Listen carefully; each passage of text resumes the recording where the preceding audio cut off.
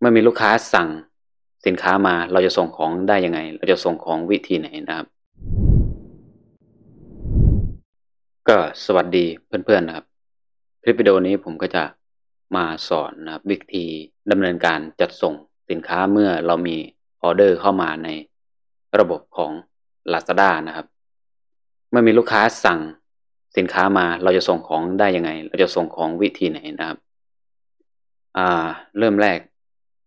เริ่มจาก เมื่อมีออเดอร์เข้ามานะครับ เราก็กดเข้าไปคำสั่งซื้อที่รอดำเนินการอย่างเงี้ยนะครับ กดเข้าไป มันก็จะมีรายการขึ้นมานะครับอะเดี๋ยวจะกดให้ดูสักหนึ่งตัวนะครับ จริงๆเราสามารถนะครับเลือกออเดอร์ทุกออเดอร์เลยนะครับ เมื่อสินค้าเรานะครับ เมื่อสินค้าเรามีพร้อมที่จะจัดส่งแพ็คอะไรนะครับ เราก็กดทั้งหมดเลยก็ได้นะครับ แล้วเลือกคำสั่งพิมพ์สลากสำหรับจัดส่งนะครับ ก็คือมันจะก็คือมันคือการสร้างแพ็กเกจและพิมพ์นะครับอะทีนี้ผมจะ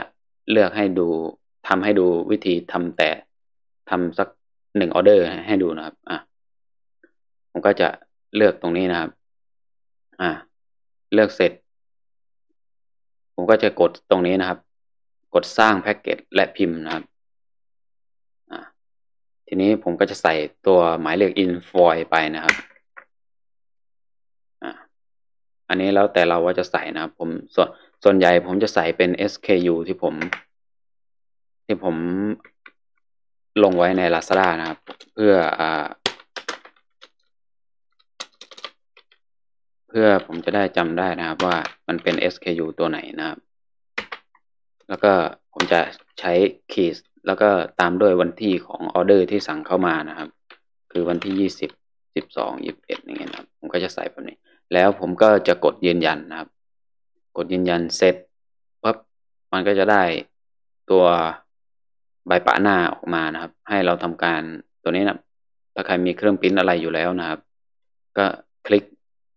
เหมือนผมคลิกออกมาเมื่อกี้นะครับ ก็คือ more setting นะครับ แล้วก็กดมาที่ page อ่า page purchase นะครับ ก็คือเราจะให้มันเป็นเล็กๆหน่อยนะครับสีหน้าต่อหนึ่งแผ่นนะครับ แล้วผมก็จะทำการอ่าอ่าเปิดเครื่องพิมพ์แป๊บนึงปริ้นออกมาเลยนะครับ ให้กดปริ้นนะครับ กดปริ้นเสร็จแล้วนะครับ ให้เรากด คำว่าสำเร็จนะเมื่อกดคำว่าสำเร็จเสร็จแล้ว ให้เราไปที่ช่องช่องตรงนี้นะครับ ที่ต้องจัดส่งนะครับอะอันนี้จะเห็นว่า มันจะมีสินค้าที่ยังไม่ได้กดพร้อมจัดส่งนะครับ แค่เรากดคำเรากดคือแพ็คไว้นะครับแพ็คไว้ ทีนี้ ของผมมันเป็นระบบแบบ Pick up นะครับ ให้รถขนส่งเข้ามารับที่บ้านนะไม่ใช่เป็น drop off แต่ว่า เราจะสะเราสามารถเปลี่ยนจาก drop off เป็น pick up หรือเปลี่ยนจาก pick up เป็น drop off ได้นะครับไอตัวนั้นเดี๋ยวผมจะไปทำคลิปสอนอีกทีหนึ่งว่าเราจะทำการเปลี่ยนยังไงนะครับ เปลี่ยนระบบขนส่งนะครับอ่าเดี๋ยวตรงนี้นะครับ ให้เรากดคำว่าพร้อมจัดส่งด้วยนะครับ เวลาถ้าท่านไม่กดพร้อมจัดส่งก็คือ ก็คือการบุ๊กกิ้งไปที่ขนส่งนั่นเองนะครับ กดพร้อมจัดส่งก็คือการบุ๊กกิ้งออเดอร์เข้าไปนะครับ ถ้าไม่กดปั๊บก็คือเอาไปไปถึง ถึงเราเอาไปส่งที่สาขาสาขาก็จะสแกนไม่ได้นะครับ อ่า มันจะไม่เห็นเข้ามาในระบบ ให้เรากดพร้อมที่จะจัดส่งนะครับอ่าเรากดพร้อมที่จะจัดส่ง เสร็จเรียบร้อยมันจะสินค้าพร้อมที่จะส่ง มันจะมาอยู่ในแท็บด้านสินค้าพร้อมที่จะส่ง ตรงนี้นะครับเนี่ยครับวิธีการจัดส่งสินค้าใน Lazada ก็ง่ายๆนะครับ อ่าสำหรับวิดีโอนี้ก็หวังว่าจะมีประโยชน์กับทั้งผู้ขายที่เป็นมือใหม่นะครับสำหรับคลิปนี้นะครับ